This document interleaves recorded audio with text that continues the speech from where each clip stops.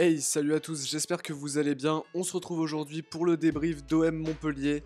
L'OM qui pouvait être leader provisoire en cas de succès ce soir, mais comme on l'avait dit hier dans l'avant-match que je vous invite à visionner, hein, même si euh, vous voulez voir juste l'analyse que j'en ai faite avant que le match se déroule, Montpellier c'est une équipe très défensive qui ne va pas créer le jeu sauf en cas de contre-attaque. Et on savait que ce serait compliqué, au final match nul un partout avec un but de Sar contre son camp pour Montpellier.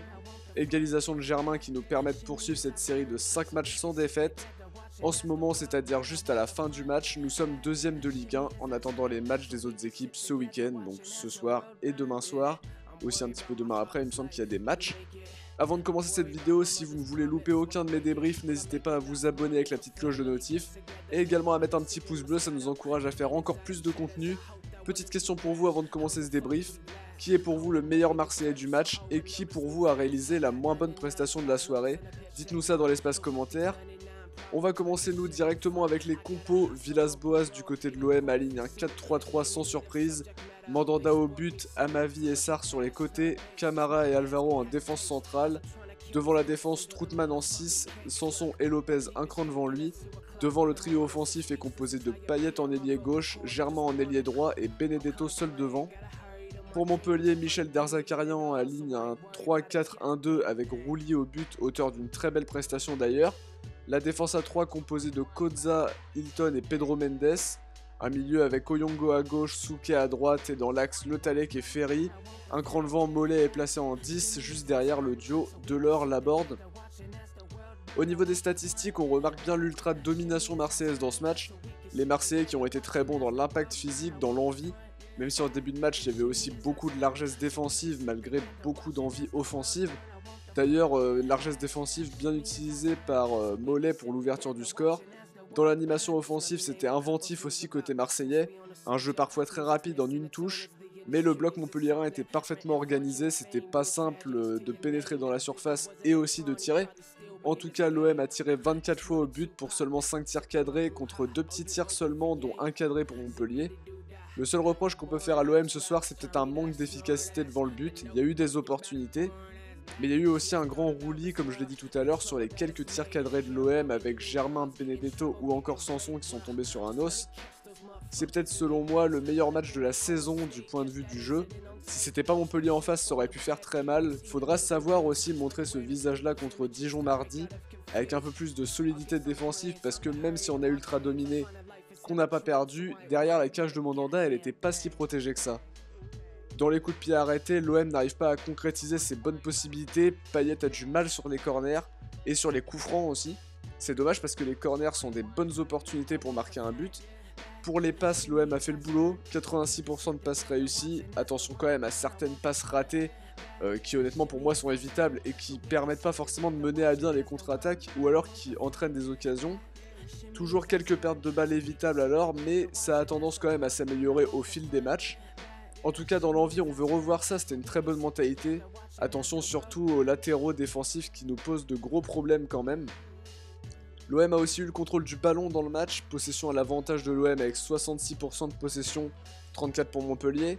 C'était un match aussi très engagé, beaucoup de fautes des deux côtés. 11 pour l'OM, 17 pour Montpellier, qui a d'ailleurs été souvent acculé euh, dans son camp en deuxième mi-temps. Euh, ils ont vraiment lutté pour garder leur avance d'un but et finalement ils ont quand même réussi à plier. Un match aussi qui se termine à 9 contre 10, un rouge donné à Ferry et à Camara quand les esprits se sont échauffés. Montpellier qui justement a beaucoup eu de mal justement à garder leur score et euh, qui ont parfois euh, rusé un petit peu, qui ont joué les fautes, qui ont subi aussi quelques fautes. Voilà, ils ont bien joué le coup pour garder leur score et les esprits s'échauffent naturellement.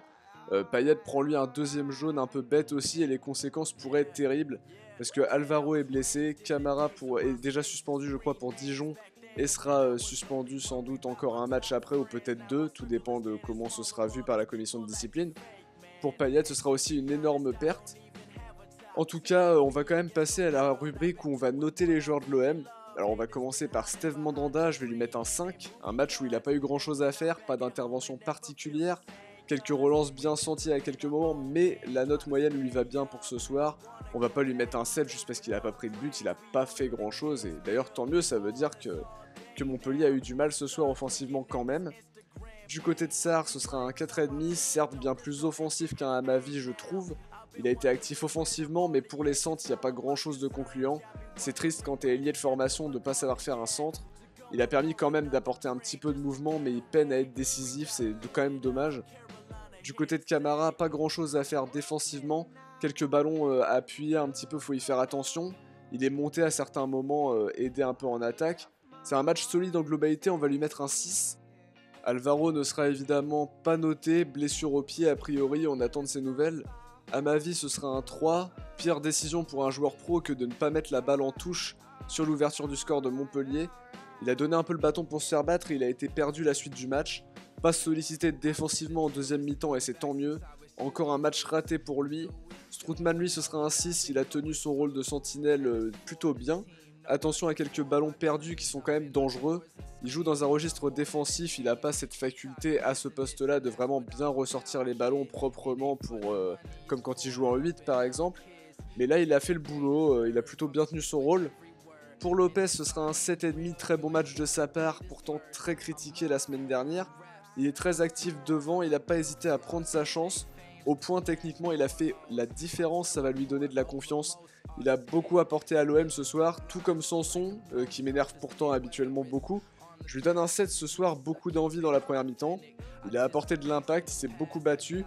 Il a tenté face au but aussi et c'est très bien de le revoir comme ça, utile dans le jeu avec cette reprise un petit peu de confiance. Pour Germain, ce sera un 7,5. Très bon match à un poste d'ailier droit qu'il ne connaît pas beaucoup. Même s'il a permuté avec Payet, il est souvent venu aider dans l'axe. Il égalise alors qu'on voyait l'OM dominer mais quand même perdre avec ce petit but d'écart. Il a tenté sa chance à plusieurs reprises, c'est pas passé loin. Il a libéré des espaces, enfin il a joué quand même relativement libéré. Sur ces deux derniers matchs, il a été d'une aide précieuse et il se redonne confiance, c'est très très bien. Payet ce sera un 7,5 aussi, il aurait pu parfois tirer plus. Il a été au cœur du jeu, il fait un très bon match ce soir. Ça va le mettre dans de bonnes dispositions. Dommage d'avoir pris le carton rouge en fin de match qui handicapera l'OM dans les prochaines compos de Villas-Boas.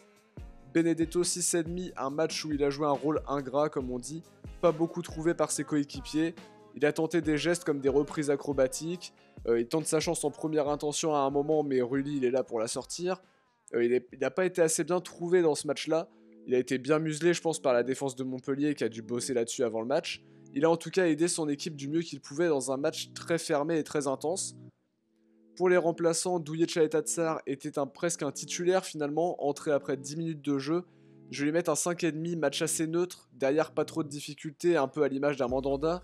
On aimerait qu'il utilise quand même son physique pour marquer sur coup de pied arrêté par exemple, seule petite remarque que je voulais placer sur lui. Radonic est bien entré dans le match, apportant de la vitesse et permettant à Payet de se replacer au cœur du jeu. Il est à l'origine du but de Germain après une belle action collective. Il a été plus à son avantage que lors de ses dernières entrées, ce sera un 6 pour lui. Rongier aussi aura joué un rôle intéressant, positionné en 6 en poste pour poste en remplaçant Stroutman.